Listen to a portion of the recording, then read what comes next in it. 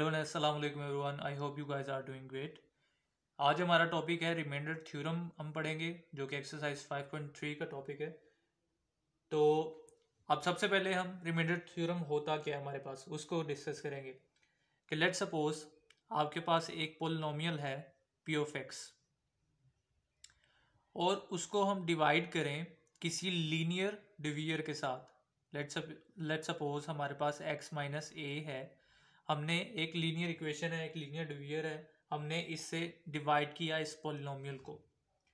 और हमारे पास एक रिमाइंडर आता है, जब हम पी ऑफ़ एक्स को अगर डिवाइड करें एक्स माइनस ए से तो हमारे पास एक रिमाइंडर आता है, जिसे हम पी ऑफ़ ए से डिनोट करेंगे।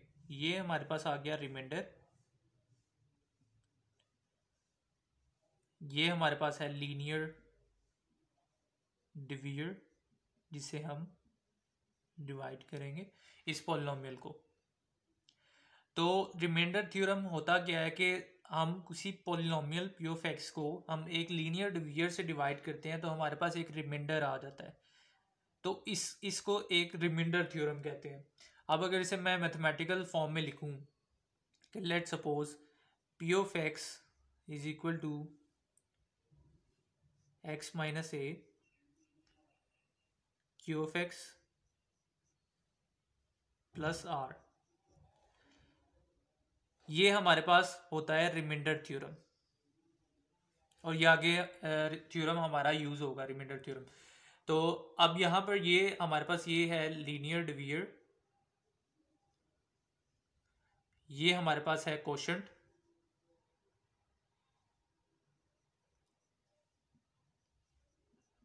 ये जो आर है ये हमारे पास आएगा डिग्री ज़ीरो के साथ या फिर कोई भी नॉन ज़ीरो कांस्टेंट होगा ये।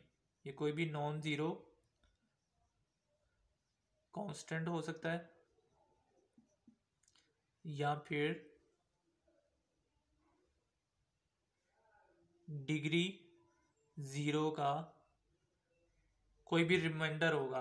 लेट सपोज़ के डिग्री ज़ीरो से अब क्या मुराद है कि अगर let suppose A X square plus X plus C. अब ये हमारे पास लेट सपोज़ एक पोलिनोमियल है तो ये सेकंड ऑर्डर का है सेकंड डिग्री का है। तो हमारे पास जो होगा, वो ज़ीरो डिग्री का होगा, यानी कि एक कॉन्स्टेंट नॉन ज़ीरो वैल्यू होगी।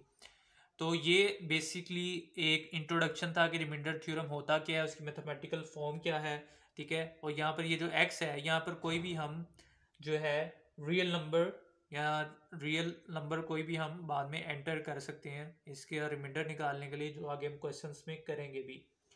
तो लेट सपोज़ कि हमारे पास एक पोलिनोमियल है P of X is equal to X minus A हम इसी रिमाइंडर थ्योरम को यूज़ करेंगे। क्यू ऑफ़ ए ये दो टाइप्स आगे आ जाती हैं। तो उस, उन टाइप्स के भी क्वेश्चन करेंगे। तो ये बस बेसिक सा डिफरेंस है। मैं, ये जो रियल एंट्री है, उसका मैं आपको बताना चाह रहा हूँ कि हमने किस तरह से बाद में हमने रिमाइंडर निकालना है, किस तरह से ये जो लीनियर इक्वेशन है, इसको किस तरह से यूज़ करके हमें रिमाइंडर थ्योरम निकालना है या रिमाइंडर निकालना है।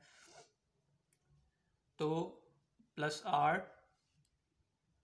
अब यहाँ पर लेट सपोज़ के एक्स की हमने कोई भी वैल्यू हमने देनी है। यहाँ पर लेट से हम कहते हैं कि let X is equal to A अब यहाँ पर जहाँ पे एक्स है, वहाँ वहाँ पे ए से रिप्लेस कर देंगे P of A A minus A Q of A plus R अब जो पी ऑफ़ ए हमारे पास आएगा, क्योंकि ये तो ज़ीरो हो गया zero into Q of A plus R तो जो पी ऑफ़ ये पी ऑफ़ ए है सॉरी तो जो पी ऑफ़ ए हमारे पास आया, वो हमारे पास एक कांस्टेंट वैल्यू आ गई, जिसे हमने आर से डिनोट किया, जो हमारे पास रिमाइंडर है।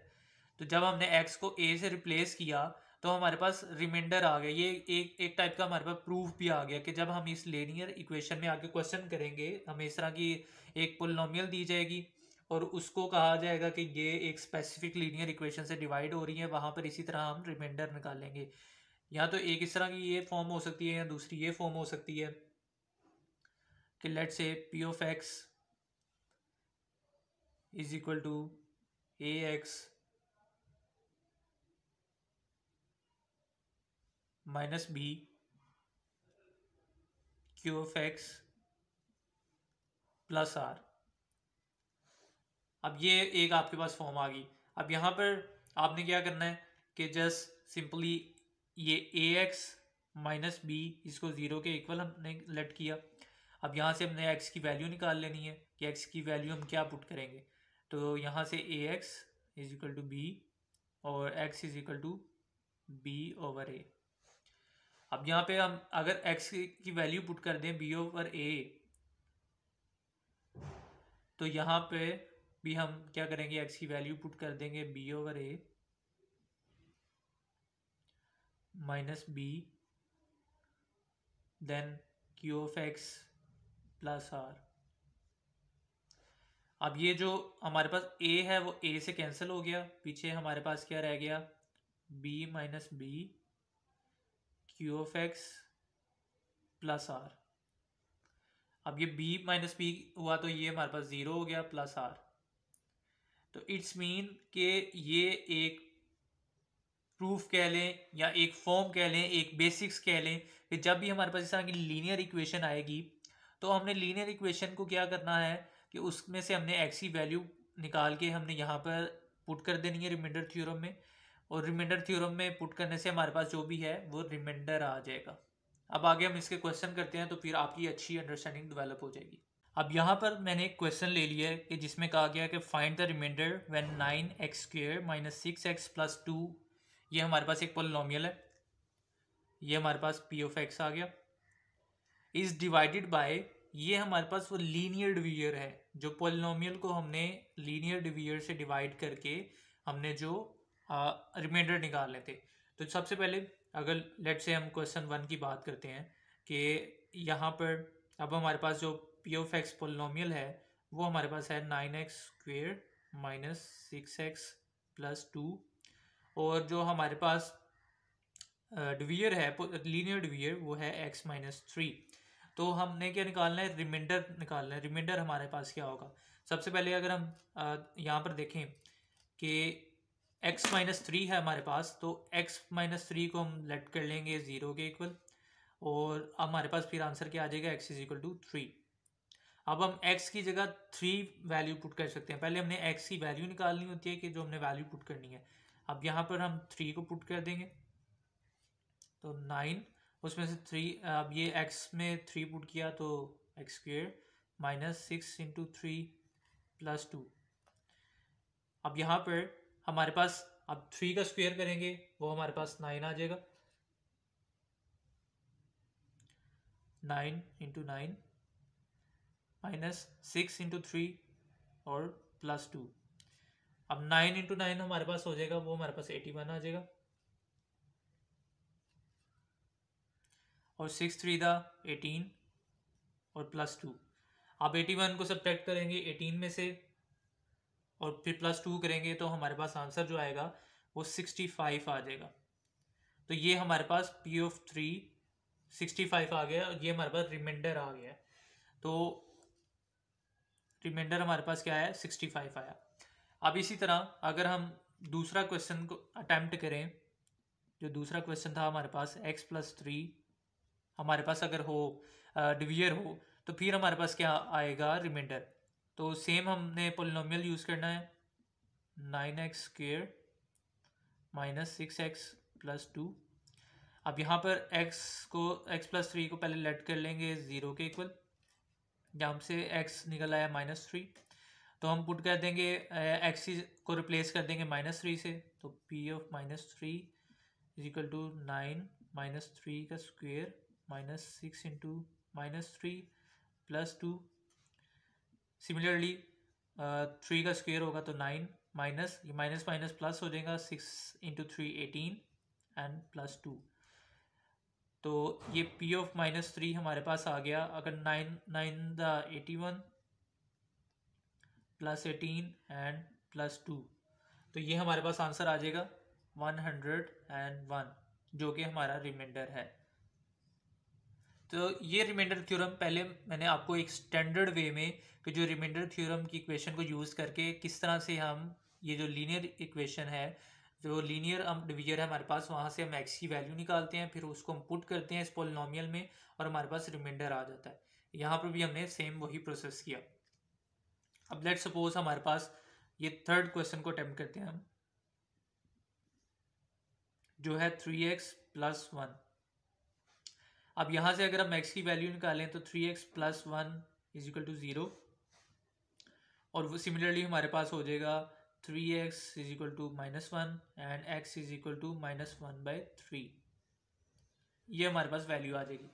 अब हमारे पास जो पोलिनोमियल था वो हमारे पास था P of X is equal to nine X square minus six X plus two and then हमने इसमें क्या करना है? Minus one by three put कर देना एक्स की जगह। Nine minus one by three X square minus six into minus one by three plus two अब सिमिलरली हमारे पास जो आएगा नाइन और इसका स्क्वेयर करेंगे हम तो ये हमारे पास हो जाएगा वन का स्क्वेयर करेंगे तो वन, ये माइनस पॉजिटिव में हो जाएगा और थ्री का स्क्वेयर करेंगे तो नाइन माइनस सिक्स और ये माइनस माइनस प्लस हो गए तो ये हमारे पास सिक्स बाई थ्री आ गया। Plus two. अब ये नाइन नाइन से कैंसिल हो जाएगा, ये थ्री टू द सिक्स हो जाएगा। तो हमारे पास यहाँ पे बचा वन यहाँ पे थ्री टू द सिक्स टू बचा और यहाँ पे टू बचा।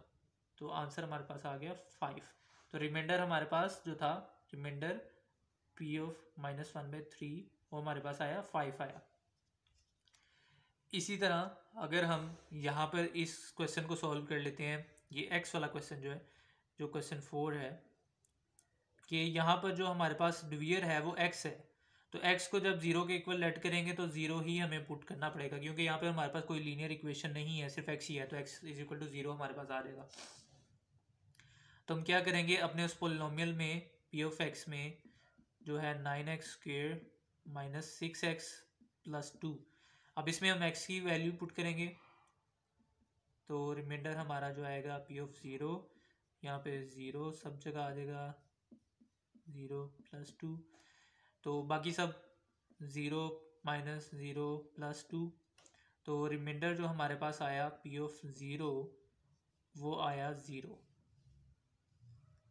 तो ये मैंने एग्जांपल्स ली थी, चार मैंने एग्जांपल ली डिफरेंट टाइप की, कि किस तरह से हमने रिमाइंडर थ्योरम को यूज़ करके, किस तरह पोलिनोमियल में हमने जो लीनियर डिवीजर है, उसकी वैल्यू निकाल के हमने पुट करनी है. तो सिंपली हमारे पास रिमाइंडर आ जाएगा।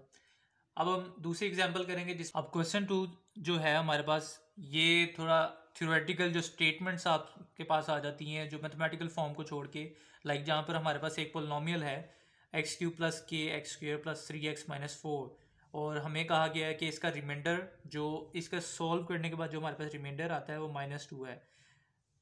और उस उसको हमने किस लीनियर इक्वेशन से डिवाइड किया, किस लीनियर डिवियर से डिवाइड किया है एक्स प्लस टू से डिवाइड किया। तो यानी कि इसमें हमने रिमाइंडर नहीं निकालना, पहले वाले क्वेश्चन में हमने रिमाइंडर निकालने थे। तो यहाँ पर हमें कहा गया है कि ये पोलिनोमियल है, ये उसका डिवियर है, ये उसका रिमाइंडर आता है सॉल्व करने से। तो हमें के की वैल्यू फाइंड करके दें। तो इस तरह से भी क्वेश्चन को थोड़ा मैनिपुलेट करके दे दिया जाता है। तो उसको भी हम सॉल्व कर लेते हैं। सबसे पहले आपने क्या करना है कि आपने अपना पी ऑफ़ एक्स पोलिनोमियल लिख लिया। X cube plus k x square plus three x minus four ये आपका पोलिनोमियल हो गया। अब वो कहता है कि आपका जो डिवियर था वो एक्स प्लस टू है। तो हम कहते हैं x plus two is equal to zero और x is equal to minus two तो ये हमारा एक्स की वैल्यू आ गई। अब यहाँ पर माइनस टू हमने पुट किया। तो माइनस टू पुट करने से माइनस टू का cube plus k minus two का square plus three minus two minus four अब ये हमारे पास माइनस टू का जब हमने स्क्वेयर क्यूब लिया सॉरी तो माइनस माइनस ही रहेगा, क्योंकि जब ओड वैल्यू आती है तो माइनस माइनस ही रहता है। पॉजिटिव में चेंज नहीं होता। जब इवन वैल्यूज़ होती हैं तब माइनस पॉजिटिव में चेंज होता है। तो टू का जब क्यूब करेंगे तो एट आ जाएगा। इसी तरह हमारे पास के ये माइनस टू का स्क्वेयर किया तो ये हमारे पास फोर के आ गया। प्लस ये थ्री इंटू माइनस टू है तो माइनस सिक्स और माइनस फोर देन अब हम इसे जो minus eight minus six minus four है, इसे सॉल्व कर लेंगे। माइनस एट में माइनस सिक्स हमने ऐड किए तो हमारे पास आगे फोर्टीन फोर्टीन में हमने माइनस फोर ऐड किए तो हमारे पास एटीन आ जाएँगे। तो फोर के माइनस एटीन ये हमारे पास हमने जो डिविएट था माइनस टू, उसको पुट करने से हमारे पास ये वैल्यू निकल आई। अब उसके बाद हमें जो गिवन था, वो गिवन था कि हमारा जो रिमाइंडर है, वो माइनस टू आता है इसको सॉल्व करने से। तो हम उसको यूज़ कर लेंगे कि जो हमारे पास पी ऑफ़ माइनस टू है equal to four k minus eighteen तो जो इसका आंसर आता है, वो माइनस टू है। तो हम इसको यूज़ कर लेंगे। तो four k minus eighteen is equal to minus two तो क्योंकि इसको सॉल्व करने से उन्होंने कहा, हमारे पास रिमाइंडर माइनस टू आएगा तो हमने इसको माइनस टू इस, यानी कि इसकी जगह हमने माइनस टू के इक्वल कर दिया। तो अब हमारे पास फोर के माइनस टू ये माइनस एटीन इधर गया तो प्लस एटीन तो four k is equal to sixteen अब जो हमारे पास के की वैल्यू आएगी, ये सिक्सटीन और ये फोर इधर जाके डिवाइड होगा तो फोर तो के की वैल्यू आपके पास आ गई फोर फोर द सिक्सटीन के की वैल्यू आ गई फोर तो इस तरह जो हमारा प्रोसेस है वो तकरीबन ऑलमोस्ट सेम ही है। बस थोड़ा सा इसमें ट्रिक था कि उन्होंने हमें रिमाइंडर पहले दे दिया और हमें के की वैल्यू या के की बजाय कोई भी अल्फ़ाबेट आ सकता है। ए बी सी डी कोई भी आपसे पूछा जा सकता है। पहले क्वेश्चन में किया था? हमने रिमाइंडर फाइंड करना था। इसमें भी हमने रिमाइंडर तक का स्टेप किया, लेकिन रिमाइंडर हमें दे, दिया तो हमने उसे इक्वेट करके वहाँ से उस जो अल्फ़ाबेट की वैल्यू निकालनी थी, वो निकाल ली। तो इस तरह से जो रिमाइंडर थ्योरम है, इसमें दो तरह के क्वेश्चन पूछे जाते हैं। या आपसे रिमाइंडर पूछ लिया जाता है, या आपसे इस तरह किसी भी अल्फ़ाबेट की वैल्यू पूछ ली जाती है। तो ये दोनों क्वेश्चन हमने टैकल कर लिए।